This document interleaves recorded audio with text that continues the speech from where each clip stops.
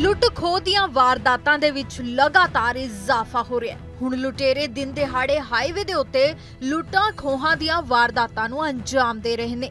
ਅਜਿਹਾ ਹੀ ਮਾਮਲਾ ਹੁਣ ਸਾਹਮਣੇ ਆਇਆ ਜਦੋਂ ਦਿਨ ਦਿਹਾੜੇ ਤਿੰਨ ਲੁਟੇਰਿਆਂ ਨੇ ਦੋ ਵਾਰਦਾਤਾਂ ਨੂੰ ਅੰਜਾਮ ਦਿੱਤਾ ਪਹਿਲਾਂ ਇਹਨਾਂ ਤਿੰਨ ਲੁਟੇਰਿਆਂ ਨੇ ਇੱਕ ਬਜ਼ੁਰਗ ਪਤੀ ਪਤਨੀ ਨੂੰ ਆਪਣਾ ਨਿਸ਼ਾਨਾ ਬਣਾਇਆ। ਜੋ ਆਪਣੀ ਬੇਟੀ ਨੂੰ ਮਿਲ ਕੇ ਵਾਪਸ ਘਰ ਪਰਤ ਰਿਹਾ ਸੀ।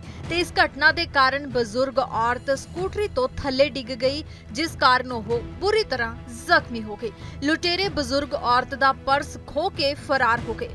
ਪਰਸ ਦੇ ਵਿੱਚ ਕਰੀਬ 500 ਰੁਪਏ, ਦੋ ਮੋਬਾਈਲ ਫੋਨ ਤੇ ਕੁਝ ਜ਼ਰੂਰੀ ਦਸਤਾਵੇਜ਼ ਸਨ ਤੇ ਉਸੇ ਹਾਈਵੇ ਦੇ ਉੱਤੇ ਇਨ੍ਹਾਂ ਲੁਟੇਰਿਆਂ ਨੇ ਅਗਲੀ ਵਾਰਦਾਤ ਨੂੰ ਅੰਜਾਮ ਦਿੱਤਾ। ਤੇ ਇੱਕ ਬੈਂਕ ਕਰਮਚਾਰੀ ਨੂੰ ਆਪਣਾ ਸ਼ਿਕਾਰ ਬਣਾਇਆ, ਜਿਸ ਕਾਰਨ ਨੌਜਵਾਨ ਸੜਕ ਤੇ ਡਿੱਗ ਪਿਆ। ਪਰ ਹੋਰ ਰਾਹਗੀਰ ਆਉਣ ਦੇ ਕਾਰਨ ਲੁਟੇਰੇ ਭੱਜ ਨਿਕਲੇ।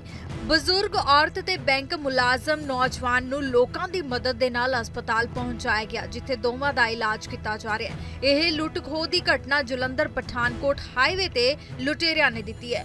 ਜੇ ਤੁਹਾਡਾ ਵੀ ਇਸ ਹਾਈਵੇ ਤੋਂ ਆਣਾ ਜਾਣਾ ਹੈ, ਤਾਂ ਇਹਨਾਂ ਲੁੱਟ ਖੋਹ ਕਰਨ ਵਾਲਿਆਂ ਤੋਂ ਸਾਵਧਾਨ ਰਹੋ। ਮੈਂ ਜੀ ਸੂਏ ਤੋਂ ਵਾਪਸ ਆ ਰਿਹਾ ਸੀਗਾ ਲੁਧਿਆਣੇ ਵੱਲ ਨੂੰ। ਖੁੱਡੇ ਲਾਗਿਓਂ ਦੋ ਕੁ ਮੁੰਡੇ ਨਿਕਲੇ ਭੰਗ ਵਿੱਚੋਂ ਤੇ ਉਹਨਾਂ ਨੇ ਮੋਟਰਸਾਈਕਲ ਵਿੱਚ ਮਾਰ। ਲਈ ਲੁੱਟਣ ਦੀ ਕੋਸ਼ਿਸ਼ ਕੀਤੀ ਪਿੱਛੋਂ ਬੰਦੇ ਬੰਦੇ ਆ ਗਏ ਤਾਂ ਕਰਕੇ ਭੱਜ ਗਏ ਉਹ। ਉਹਦਾ ਬੈਗ ਨੂੰ ਤੁਹਾਡਾ ਬੈਗ ਬਚ ਬੈਗ ਗਿਆ ਬਚ ਗਿਆ ਜੀ ਉਹਦਾ ਪਿੱਛੋਂ ਬੰਦੇ ਆ ਗਏ ਉਹਨਾਂ ਨੂੰ ਬਚਾਇਆ ਤੁਹਾਡਾ ਚੋ ਅਹ, ਲੈ ਕੇ ਤਾਂ ਨਹੀਂ ਗਏ ਲੈ ਕੇ ਨਹੀਂ ਕੁਝ ਗਏ ਬਸ ਸੱਤਾ ਵੱਜੀ ਲੁੱਟ ਖੋਹ ਦੀਆਂ ਵਾਰਦਾਤਾਂ ਦੇ ਵਿੱਚ ਲਗਾਤਾਰ ਇਜ਼ਾਫਾ ਹੋ ਰਿਹਾ ਹੈ। ਹੁਣ ਲੁਟੇਰੇ ਦਿਨ ਦਿਹਾੜੇ ਹਾਈਵੇ ਦੇ ਉੱਤੇ ਲੁੱਟਾਂ ਖੋਹਾਂ ਦੀਆਂ ਵਾਰਦਾਤਾਂ ਨੂੰ ਅੰਜਾਮ ਦੇ ਰਹੇ ਨੇ। ਅਜਿਹਾ ਹੀ ਮਾਮਲਾ ਹੁਣ ਸਾਹਮਣੇ ਆਇਆ ਜਦੋਂ ਦਿਨ ਦਿਹਾੜੇ ਤਿੰਨ ਲੁਟੇਰਿਆਂ ਨੇ ਦੋ ਵਾਰਦਾਤਾਂ ਨੂੰ ਅੰਜਾਮ ਦਿੱਤਾ ਪਹਿਲਾਂ ਇਹਨਾਂ ਤਿੰਨ ਲੁਟੇਰਿਆਂ ਨੇ ਇੱਕ ਬਜ਼ੁਰਗ ਪਤੀ ਪਤਨੀ ਨੂੰ ਆਪਣਾ ਨਿਸ਼ਾਨਾ ਬਣਾਇਆ। ਜੋ ਆਪਣੀ ਬੇਟੀ ਨੂੰ ਮਿਲ ਕੇ ਵਾਪਸ ਘਰ ਪਰਤ ਰਿਹਾ ਸੀ। ਤੇ ਇਸ ਘਟਨਾ ਦੇ ਕਾਰਨ ਬਜ਼ੁਰਗ ਔਰਤ ਸਕੂਟਰੀ ਤੋਂ ਥੱਲੇ ਡਿੱਗ ਗਈ, ਜਿਸ ਕਾਰਨ ਉਹ ਬੁਰੀ ਤਰ੍ਹਾਂ ਜ਼ਖਮੀ ਹੋ ਗਈ। ਲੁਟੇਰੇ ਬਜ਼ੁਰਗ ਔਰਤ ਦਾ ਪਰਸ ਖੋਹ ਕੇ ਫਰਾਰ ਹੋ ਗਏ।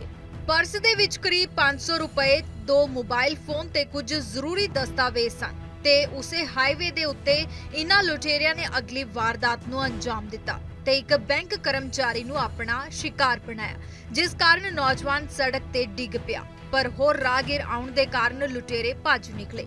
ਬਜ਼ੁਰਗ ਔਰਤ ਤੇ ਬੈਂਕ ਮੁਲਾਜ਼ਮ ਨੌਜਵਾਨ ਨੂੰ ਲੋਕਾਂ ਦੀ ਮਦਦ ਦੇ ਨਾਲ ਹਸਪਤਾਲ ਪਹੁੰਚਾਇਆ ਗਿਆ, ਜਿੱਥੇ ਦੋਵਾਂ ਦਾ ਇਲਾਜ ਕੀਤਾ ਜਾ ਰਿਹਾ ਹੈ। ਇਹ ਲੁੱਟ ਖੋਹ ਦੀ ਘਟਨਾ ਜਲੰਧਰ ਪਠਾਨਕੋਟ ਹਾਈਵੇ ਤੇ ਲੁਟੇਰਿਆਂ ਨੇ ਦਿੱਤੀ ਹੈ। ਜੇ ਤੁਹਾਡਾ ਵੀ ਇਸ ਹਾਈਵੇ ਤੋਂ ਆਣਾ ਜਾਣਾ ਹੈ, ਤਾਂ ਇਹਨਾਂ ਲੁੱਟ ਖੋਹ ਕਰਨ ਵਾਲਿਆਂ ਤੋਂ ਸਾਵਧਾਨ ਰਹੋ। ਮੈਂ ਜੀ ਸੂਏ ਤੋਂ ਵਾਪਸ ਆ ਰਿਹਾ ਸੀਗਾ ਲੁਧਿਆਣੇ ਵੱਲ ਨੂੰ। ਖੁੱਡੇ ਲਾਗਿਓਂ ਦੋ ਕੁ ਮੁੰਡੇ ਨਿਕਲੇ ਭੰਗ ਵਿੱਚੋਂ ਤੇ ਉਹਨਾਂ ਨੇ ਮੋਟਰਸਾਈਕਲ ਵਿੱਚ ਮਾਰ। ਲਈ ਲੁੱਟਣ ਦੀ ਕੋਸ਼ਿਸ਼ ਕੀਤੀ ਪਿੱਛੋਂ ਬੰਦੇ ਬੰਦੇ ਆ ਗਏ ਤਾਂ ਕਰਕੇ ਭੱਜ ਗਏ ਉਹ। ਉਹਦਾ ਬੈਗ ਨੂੰ ਤੁਹਾਡਾ ਬੈਗ ਬਚ ਬੈਗ ਗਿਆ ਬਚ ਗਿਆ ਜੀ ਉਹਦਾ ਪਿੱਛੋਂ ਬੰਦੇ ਆ ਗਏ ਉਹਨਾਂ ਨੂੰ ਬਚਾਇਆ ਤੁਹਾਡਾ ਚੋ ਲੈ ਕੇ ਤਾਂ ਨਹੀਂ ਗਏ ਲੈ ਕੇ ਨਹੀਂ ਕੁਝ ਗਏ ਬਸ ਸੱਤਾ ਵੱਜੀ